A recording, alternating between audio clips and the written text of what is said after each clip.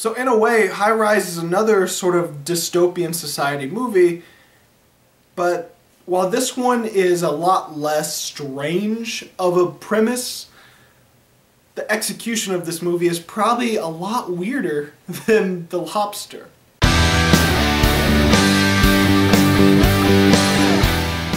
So High Rise is set in the 70s. I believe it is an adaptation to a novel.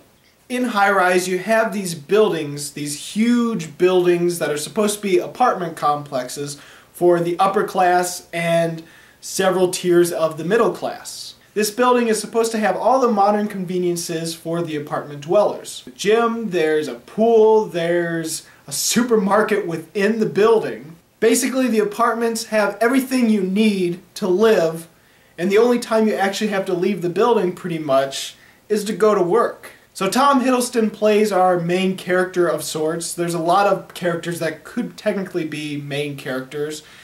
There's some that have a bigger role in the story than Tom Hiddleston.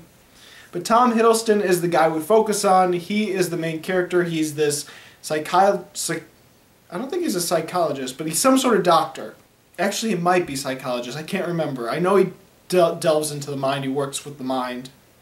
But anyway, the movie begins with the tower being completely chaotic, completely disastrous, and then we jump three months earlier when he becomes a resident of the apartment.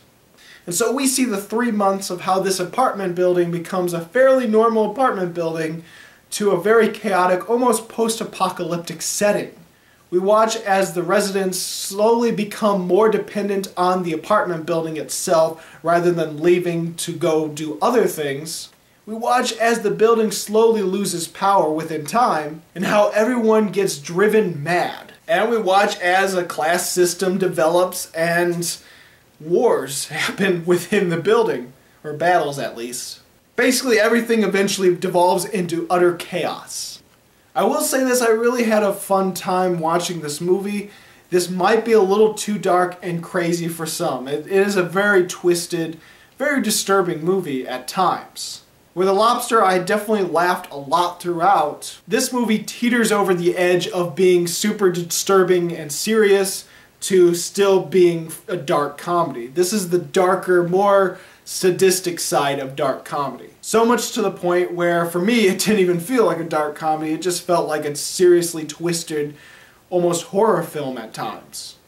Because ultimately it is a descent into madness for this entire apartment building as they're becoming dependent on the building and then the building crumbling within itself where it loses power and everyone, the whole society crumbles with that power. Now I'm sure this movie has satire, it has social commentary just like Lobster and some very similar to Snowpiercer. I like a lot of the film techniques within this movie. It is a gorgeous movie to look at at times, and as the movie progresses, it becomes darker, the film becomes a little bit more, or the camera at least, becomes a little more chaotic and shaky, and even the editing style becomes more chaotic and dysfunctional. It does it purposely, but this could be a turnoff for most people. I definitely appreciate the film style of the movie, but at times I do feel it gets a little too chaotic for its own good. There are definitely times where things aren't quite explained all too well. So much so that it doesn't even do a good job of implying some things that happen. This is definitely one of those movies that can be very incoherent for some viewers, and you could come out of it thinking, I have no idea what just happened. This movie as well has a lot of pretty good stars and familiar faces within. We've got Tom Hiddleston, Jeremy Irons, Luke Evans, just to name a few. I thought everyone did a really good job in this movie.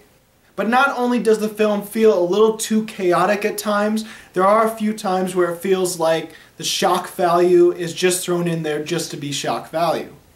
Yes, some of the shocking images does reflect on how chaotic everything has become, how society devolves within this apartment, but sometimes it feels a little off-putting and a little bit meaningless.